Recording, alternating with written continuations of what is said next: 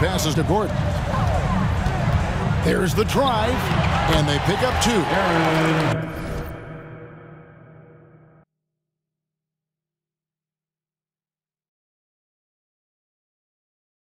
Gordon's got the lead up to 10 now for Pittsburgh.